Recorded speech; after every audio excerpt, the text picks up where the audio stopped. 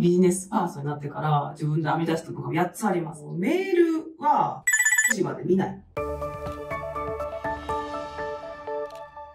パカラッパカラ。皆さんこんにちは。うまちゃんこと経済アナリストまぶちまりこです。このチャンネルでは金融に関わる情報や株式投資のトレンド、皆様からのご質問にお答えします。まぶしさん、はい。質問なんですけど、うんまぶしさんって、うん今すごいメディアとかテレビとか出演されて、うんご活躍されてるじゃないですか。この間とかすごかったらしいですね。あの、そこまで行って委員会うん行った時とか、うんあの家とかはもう出た後にうん。新幹線で。あ、そう、その後、東京でしゅしゅ生出演があったので、テレ東さんの。いやー、すごいもう、大忙しでうん活躍だと思うんですけど、なんかそんなまぶしさんに、まぶしさんがやってる時短術というかあ、人生の無駄をなくすような、うん。まあなんか習慣というか方法があったら教えてほしいなと思いまして。いろいろこう苦肉の策でビジネスパーソンになってから自分で編み出したのが8つあります。まず1つ目はですね、メールは朝9時まで見ない。やっぱり起きてすぐ結構パソコン開いて仕事するんですけど、うんメールを開いちゃうとそこから返信業務とかうん社会との接点が始まるのよ。うんだけど一応やっぱり起きて6時から9時まではインプットのための時間にしたいから、あえて返信しない、あえて開かないってことをしてて、これ結構時短なのよね。うん、なぜかというとその朝9時まではやっぱり情報収集、新聞読んだりしないと整わないので、自分の時間を確保することによってその後のパフォーマンスが良くなるから、しっかりこう区切った方がいいえーのが一つ目。僕なんかうん朝起きたら見ちゃいます。あ、すぐすぐやりとりやっちゃう。仕事返しちゃう真面目偉すぎる。だってめっちゃ早いもんね、帰ってくるの。私のやつ、あれだよ、ちゃんとあの時間確保して、朝とかでいいからね。そうです。確かに返してると1時間くらい経っちゃうんですそうよね。そうそうそう。なので、これはビジネスパーソンの皆様おすすめで、基本的に、あの、8時とか9時がスタートなので、会社の。うんそこまではね、自分の時間だと思って、あえて、こう、返さない。インプットの時間を大事にしてほしいなと思います。はい。まみさんのうんゲームは仕事に時間になったら。うん、そうしてください。その方がいいですいいですか？うん、きっとね、パフォーマンス上がりますよ。うん企画力とか。で、二つ目が、まあ、移動時間を効率的に使うということを考えています。これは計画性を持って移動時間を動くということなので、例えば短時間の移動、電車とかタクシーとかいろいろあると思うんですが、短時間の移動の時に何をするかのリストが私あります。15分でできる仕事。つまりそれこそメールの返信。あるいはスケジュール調整。そういったもの、あるいはまあ請求書の発行はちょっと最近はお任せするようになりました。それも全部やってたので自分で。あのあたりって、なんだろう、作業じゃないですか。そこまで知的な活動はいらないけれども、時間は取られるので、それを15分の移動の間にやっちゃうっていうのを計画性を持ってやります。なんとなく移動時間の隙間時間とか、うん。YouTube 見ちゃったりとか、うん。まあ、メールのやり取りとかうんしたりするんですけど、特に決めてたりしなかったですね。あ、YouTube いいと思いますよ。あの、ながら聞きあの、耳で情報収集するっていうのはいいから、私も移動時間に聞く、あの耳で情報を入れるっていうのはしてます。隙間時間を埋めれる仕事リストを作る。そっから二つ目。で、三つ目がちょっと長時間の移動ね。うんだから新幹線とか飛行機とか出張皆さんあると思うんですよ、ビジネスパーク。その時に2時間半で何をするかっていうのも乗る前に決めておきます。つまり乗ってからさあ何しよう、何読もうじゃなくて、えーこの2時間半で私はこのレポートを読む。あるいはこの原稿を1本書き上げるってことを決めた上で乗ります。先に決めるんですか？そう。結構、あ乗ってから、なんか携帯見たり、パソコン見て、あ、何しようかなとか、メールの返信が始まったりとかするんだけど、うん、もったいないから、で、まあ飛行機の場合はもう電波届かないうんかったりするので、ファイルダウンロードして読もうと思ってて、飛行機乗ったら繋がってないから読めないとかさあるのよ。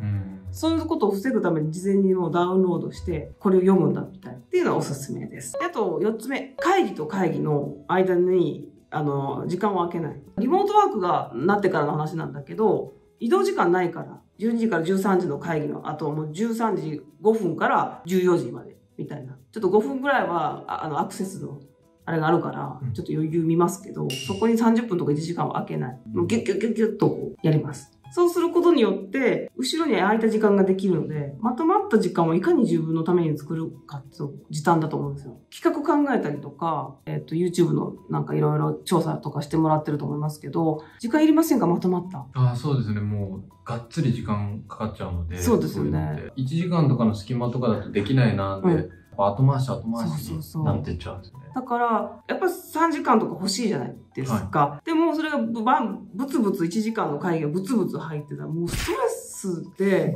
めっちゃ無駄じゃないですか。はい。なので、ブツブツならないように、グッグッグッグッって押し込んで、で、後ろにまとまった時間を作って、そこで効率的にクリエイティブな仕事をする。これはね、みんなやりたいことだと思いますね。えっと、5つ目。取材に行ったりとか企業訪問ってあると思うんですけど、ここで皆さん単なる企業訪問をするだけとか、営業の方だったら物を売るとかあると思うんですけど、私はこの企業訪問こそインプットの時間だと思ってるんですよね。ネット上では得られない情報がそこにはあったりとか、生の声があったりとかするので、全力でなんか情報を取りに行きます。時短というか自分の仕事に価値を持たせるのっていうのはやっぱ生の声だったりとか、独自性だったりするんです。だからネットに溢れてる情報を、えー簡単にまとめて解説するのももちろん価値はある、バリューはあるんだけど、プラスビジネスパーソンとして価値が生まれるのとこっちでうん。えーみんな誰も持ってない情報を現場に行って取ってくる。これも価値があるのね。だから私結構この社外の打ち合わせとか、他の組織の方との接触の時は、インプットインプットの時間だと思ってやってるから、それが自分の資産となって積み重なるって思ってます。6つ目いきます。9時以降は、ちょっと緩めの勉強をします。明日に備えて、もう一度情報を整理したりとか、ネットニュース見たりとか、雑誌見たりとか、緩やかなインプットですね。明日のパフォーマンスを上げるために、ちょっと整えると。ことをします。なので、7番につながるんですけど、会食は1時間で帰ります。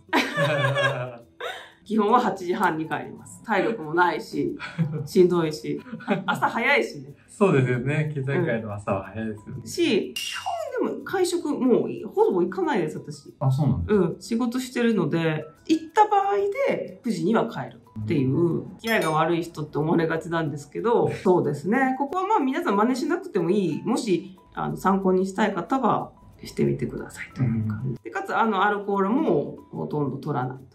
うんそんなスタンスですはい。で、最後、8つ目。私はゴルフはしません。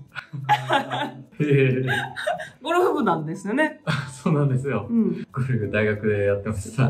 本当に好きでゴルフをやってる方はいいと思うんですけど、あのビジネスシーンにおいてゴルフっていうのは付き合いとか人脈を広げるために必要だよってすごく言われたの。20代の頃から。わかります。前の会社入った時、すぐ会長とゴルフに連れてかれましあーあ、でもできるからね。すぐコミュニケーション取れていいですよた。ね。はい。でも、私の場合は、自分の仕事の種類なんですけど、人脈を拡大することが自分の仕事ではないどちらかといえば、今起きている経済の情報とか金融の情報をちゃんと調べて、それをインプットして、えー噛み砕いてお届けするというのが私の仕事なので、そうなった時に、ゴルフで人脈を作るということは私の仕事とはちょっと遠いんですよね。うーん。なので、これまでずっと20代の時はゴルフやりなさいよ。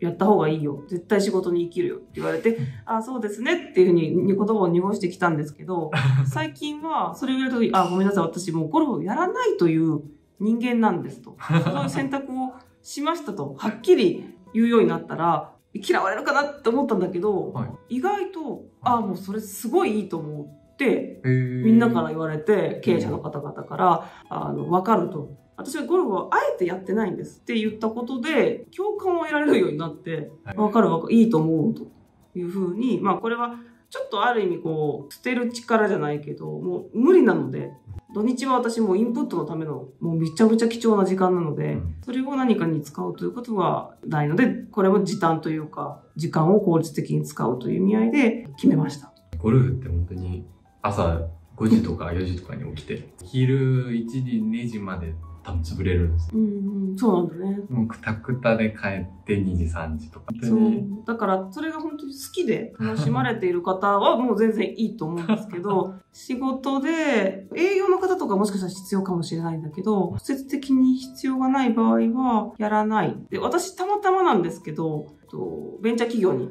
所属してますし、もう一個、あの、金融メディアにも所属してますけど、どっちの会社もゴルフをやらない文化なんですよ。